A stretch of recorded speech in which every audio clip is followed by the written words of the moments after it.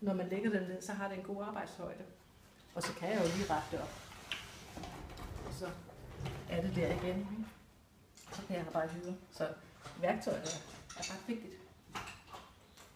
Men øh, når jeg lægger den ned, så, så kan jeg gøre øh, det med det, som jeg oftest gør, når jeg arbejder med maleri. Jeg blander noget af farven til dels over på paletten, men det meste det blander jeg faktisk på maleriet.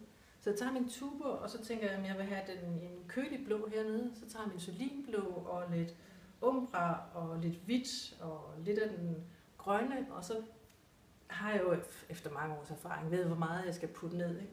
Og så blander jeg det hernede på, fordi så giver det en meget, meget større øh, nuance og, og en større variation i nuancer, end hvis jeg havde lavet den found fatte derovre. Så er det ligesom sådan et malingsprodukt, jeg malede op med her. Men her, når jeg arbejder den her, så kan jeg også sige, at den skal være lidt lys, og så tager jeg noget af den hvide og, og, og ned i farven med den, og så tværer jeg rundt ganske enkelt, indtil jeg har den farve, jeg vil have.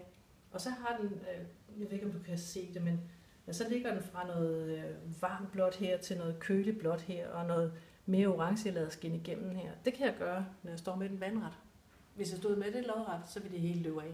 Det duer ikke.